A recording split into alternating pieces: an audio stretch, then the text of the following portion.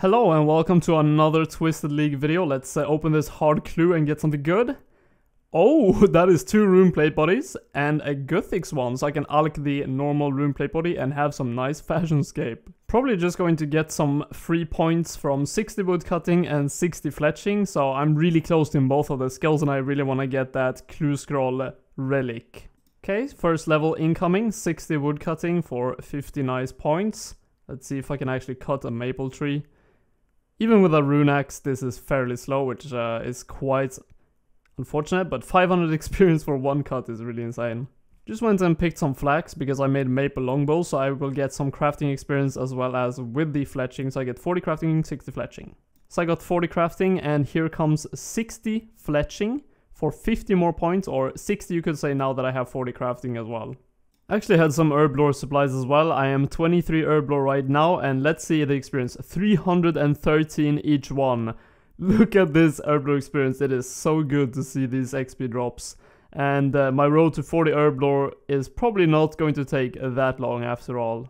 Now that these plows are not as crowded, I did a 5% Hosidius favor, so now I just need to make fertilizer all the way to 45. Okay, that is the 45% done, and I'm going to do mess hall for the 100% for a task, and also the cooking level 60 for more points. Before that though, I'm going to use my ensouled heads that I had in my bank, so let's see this experience drop.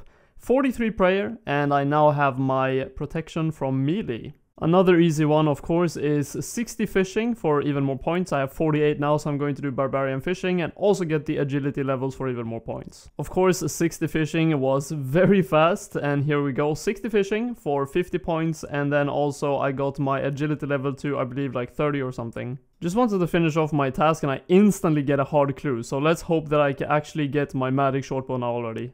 Okay, so let's see if we can get an MSB from this one hard clue scroll. Let's open it, and Okay. Come on, Magic Longbow. I mean, I'm going to use it because that means I can actually use my Broad Arrows, which is still okay. So, uh, just letting you guys know, if you're not lucky enough to get a Magic Shortbow, then uh, the Magic Longbow is okay. I mean, it is definitely quite a lot worse than the Magic Shortbow, but um, it could possibly be better than a Maple Shortbow at least. I am not completely sure, but at least you can use Broad Arrows, as I said, with it going to make an attempt to get a rune scimitar because it is going to be very essential for my melee training. So here we go, first fire giant task. First task done, no rune scimitar, but a hell of a lot of experience, so I'm not going to complain too much, and some more points as well for the fire giant task completed. So this is pretty huge actually, I'm going to get quite a lot of points for this, 100 points for 80 ranged. I think I'm currently like top 35 ranged as well, which is pretty nice. Okay, I've killed like 200 fire giants now and still no rune scimitar and I'm 83 ranged, so I'm going to actually stop with this grind right now and do something else. Got 4 brimstone keys, so let's see what the loot is going to be, hopefully some cash. First one is cash, 92k. Snapdragon seeds, that is really good for farming. Uncut diamonds, that's okay I guess, and even more coins, so that 257k. I'm going to buy some more broad arrows with that because uh, yeah, that's all I really currently need money for. 100% favor completed in Hosidius, and I think I have some more points to claim than just that, so let's claim them. 60 points, nice. Alright, so this is going to be 60 cooking, and uh, it will give me another 50 points. Nice milestone to get there. Let's uh, click the tasks. And I only need 120 points left now, that is really close. Actually just entering the woodcutting guild gave me 50 points, I didn't even think about that. Now that I'm here, I'm going to get 40 construction with a sawmill, which really should not be that expensive actually. I have quite a lot of money currently. Here we go, easy 40 construction. I don't think 99 construction will be hard at all. It will just take money, and that you will get from Clue Scroll, so should be fine. So here finally comes the unlocking of the Treasure Seeker Relic. I just hit 60 strength with this awful rune longsword that I have because I didn't get a rune scimitar from Fire Giants. Here we go, it is unlocked. So let's put the relic in and now I can actually start farming hard clues for that MSB which is going to be pretty damn nice. I mean, it's not efficient, but killing these Cyclops is really, really fast for clue scrolls because they have so low HP. So that's what I'm going to do until the MSB. Okay, first hard clue. Let's see what this is going to give us. Uh, and oh, come on, another magic longbow. I actually got baited. The Alx is pretty good though. In the same spot, I actually have two more hard clues. So one of these, come on, at least one of them has to give me an MSB. Come on.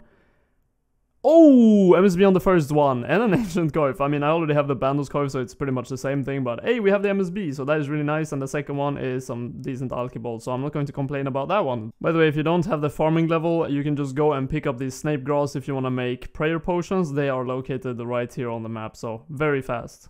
Okay, so I'm about to dig up my number 20 hard clue, and I've been doing Bloodvelds by the way. They are really, really good Slayer experience and combat experience, and they give a good amount of hard clues, of course, as they are a 1 in 10 drop rate. So let's dig up the last clue. I now have 20, so let's get them all open. And my wish list for the items really only are two items that I really, really want, which are the Vambraces and the boots, the god uh, ones, you know, like Guthix and so on. This looks so good in the inventory, so let's get opening. I will have to bank a few times probably. Uh, the game, game chat open. First one, not too good, but actually, never mind. It's really good. Law runes are so useful. I wish I had more law...